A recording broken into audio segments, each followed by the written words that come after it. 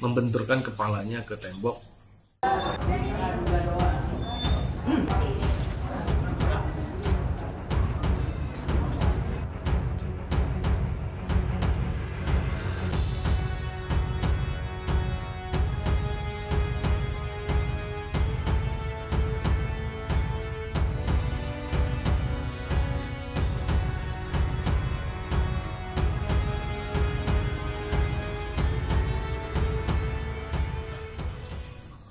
Membenturkan kepalanya ke tembok.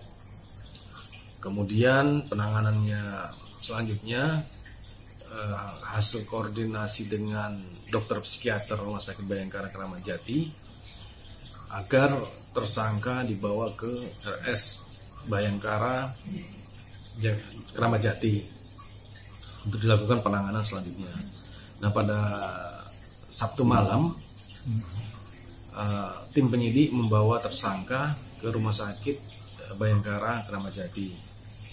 Uh, setelah dititipkan di sana dan dirawat, selanjutnya penanganannya di dari rumah sakit uh, Bayangkara Keramat Jati.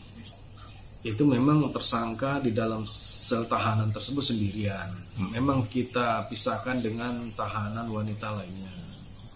Karena pertimbangan tersangka eh, memiliki atau terindikasi gejala skizofrenia yang mempunyai gejala delusi dan halusinasi seperti itu.